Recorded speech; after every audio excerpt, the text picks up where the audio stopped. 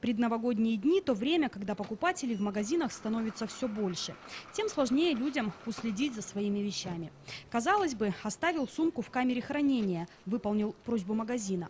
Однако справиться с примитивным механизмом замка в таких кабинках для опытного мошенника труда не составит. По общему правилу ответственность за сохранность вещей, которые сданы в магазине, несет сам магазин, поскольку э, наряду с основной услугой э, по продаже товаров заключается договор, безвозмездный договор хранения на обеспечение сохранности тех вещей, которые сданы в соответствующую кабинку.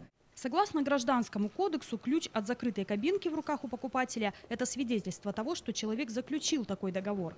Хотя оставлять сумку в кабинке или нет – индивидуальное дело каждого.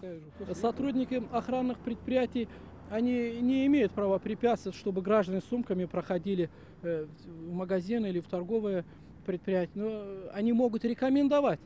Если покупатель оставил ценные вещи в кабинке и их похитили, следует сразу обратиться в милицию. В том случае, если мошенника поймают, ответственность и возмещение ущерба перекладывается на него. Уголовное наказание предусматривается, когда похищенная сумма превышает тысячу рублей.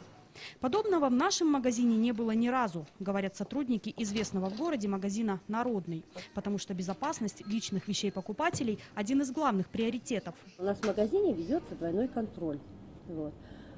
Первый контроль – это охрана. Второй у нас контроль в виде наблюдения. У нас в магазине работает 16 камер. Вот. Ведется наблюдение за каждым покупателем. 16 камер на 300 квадратных метрах площади. Уже только этот факт внушает доверие. В магазине просматривается абсолютно все. Еще один секрет гарантии сохранности личных вещей – это пост охраны, расположенный в непосредственной близости от кабинок. Мошенник задумается, стоит ли совершать преступление, если ты под наблюдением охраны. В день магазины сети «Народный» на Инструментальной 6, на Чкалова 135 и на Анохина 120 посещают по 300-400 человек. Перед новогодними праздниками эта цифра увеличивается увеличится.